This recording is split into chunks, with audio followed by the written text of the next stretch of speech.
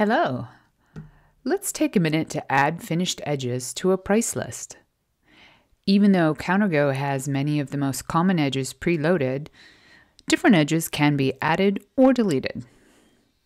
From the left, click on Price Lists, then click on the name of the price list to modify. Click the Edit Price List button to make changes. Select Finished Edges from the left, then click Add Finished Edge. Multiple edges can be added, one name per line. The new edge will be added to the list of existing edges alphabetically. Locate it, then click on No Image to edit the thumbnail. If the edge is laminated, select double or triple first, or leave as none for non laminated edges.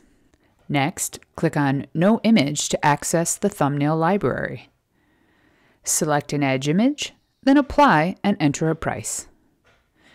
To delete a finished edge, click the Delete icon for that edge. Save your price list, and you're all done.